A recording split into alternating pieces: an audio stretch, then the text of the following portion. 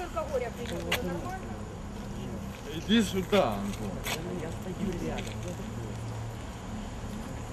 Абсолютно пьяный человек за рулем ехал на машине, начиная с Саксаганского, разбил пять машин. Причем э, непонятно, это пять машин или это более машин. Но повернул с Саксаганского, он прошелся по многим машинам.